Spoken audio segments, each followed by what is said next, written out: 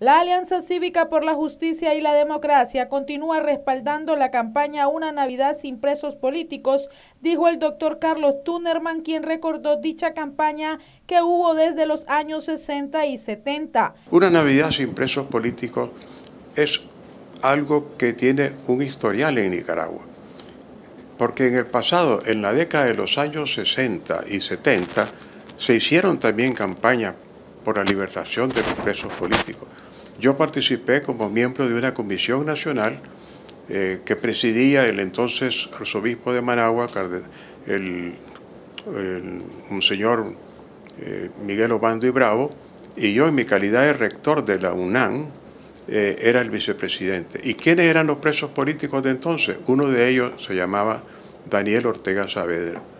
Por eso es que en esa comisión nacional participaba incluso la madre de los presos políticos.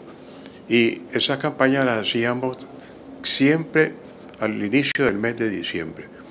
La Alianza Cívica se propone eh, reforzar esa campaña en los próximos días porque es difícil que en un país podamos entrar en un espíritu navideño.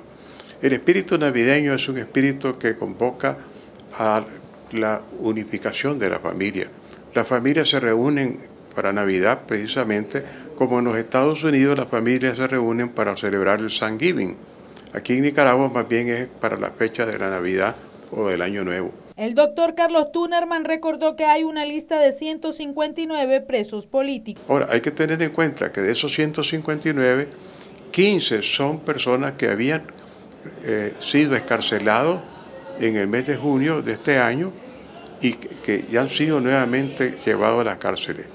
Eh, es decir, ya tenemos pues un número bastante grande de personas eh, que han sido nuevamente encarceladas. Ya, va por el número de 15. Y, tenemos también entre esos 159 eh, dos niños, tenemos también una persona que se podría considerar que es un inválido, que es el caso del señor Pedro Gutiérrez, que es el señor que tiene una prótesis en una de sus piernas y que debería también de ser liberado.